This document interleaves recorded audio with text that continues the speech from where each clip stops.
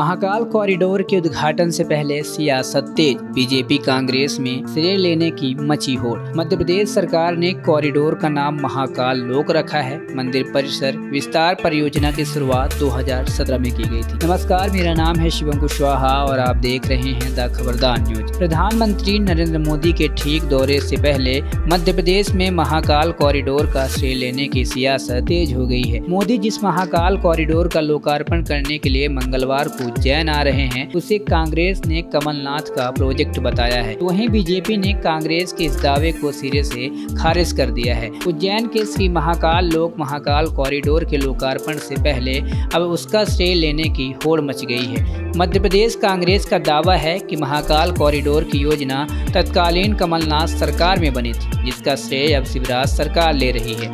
मध्य प्रदेश कांग्रेस ने अपने Twitter handle से बाकायदा दो पोस्ट भी किए हैं और उसमें बताया है कि महाकाल प्रोजेक्ट कमलनाथ की देन है। पहले ट्वीट में उन्होंने बताया है कि धर्म प्रेमी कमलनाथ विकास आस्था के साथ कमलनाथ जी मध्य प्रदेश के पहले ऐसे मुख्यमंत्री हुए हैं, जिन्होंने महाकाल परिसर को संवारने की योजना बनाई।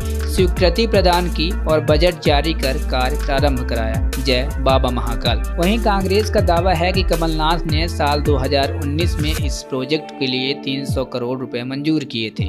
दूसरी तरफ़ कमलनाथ ने बयान दिया है कि शिवराज झूठा श्रेय ले रहे हैं। पूर्व मुख्यमंत्री कमलनाथ ने कहा कि मैंने जो किया था, महाकाल के लिए वो रिकॉर्ड पर है। ये शिवराज सिंह चौहान आज इसका श्रेय लेना चाह रहे हैं। ये तो सब चीज़ों का श्रेय ले लेते हैं। अब ये कहने ना लगे कि हमने किसानों का कर्जा माफ़ किया था। जनता सब जानती है और वो अब भाजपा की भावनाओं में नहीं बहने वाली है।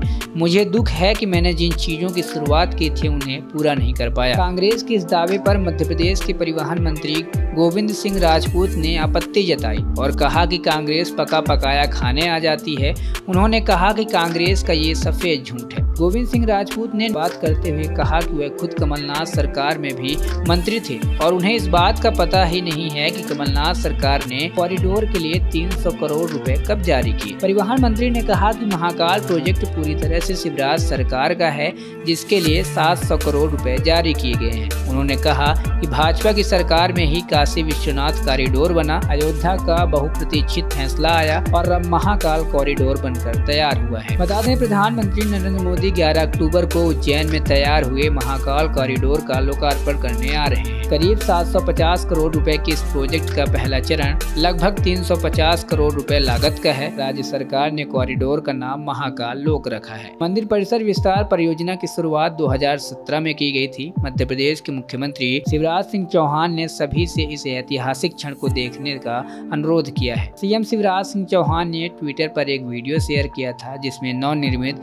कॉरिडोर की झलक दिख रही थी। उन्होंने लिखा कि भारत की कालजयी संस्कृति के परिचायक श्री महाकाल लोक को देश के प्रधानमंत्री नरेंद्र मोदी 11 अक्टूबर को बाबा महाकाल को समर्पित करेंगे। Bureau report, the Khabardar news.